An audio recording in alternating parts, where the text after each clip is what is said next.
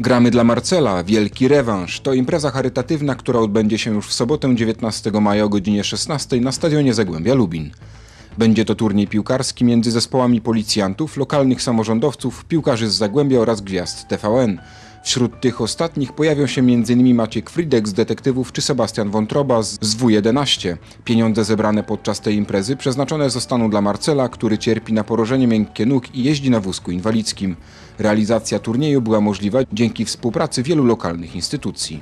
Tutaj z naszej strony i, i Marcela i mamy jego serdeczne podziękowania dla Fundacji Polska Miedź, która już drugi raz nas wsparła e, w tej inicjatywie e, i pomogła nam to zorganizować i również dla Zagłębia Lubin, które udostępnia na swój obiekt. Udostępniamy własny stadion, ponieważ no, w Lubinie nie ma takiego drugiego obiektu, e, więc myślę, że to już jest mm, duży wkład z naszej strony. Gra dla Marcela zaczęła się 3 lata temu, gdy komendant lubińskiej policji, chcąc spełnić marzenie chorego chłopca, mianował go honorowym funkcjonariuszem.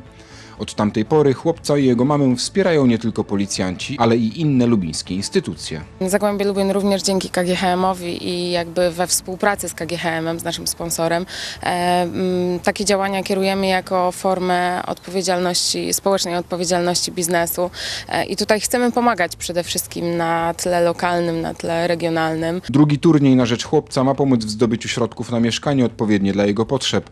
W ubiegłym roku podczas imprezy Gramy dla Marcela udało się zebrać prawie 21 tysięcy złotych.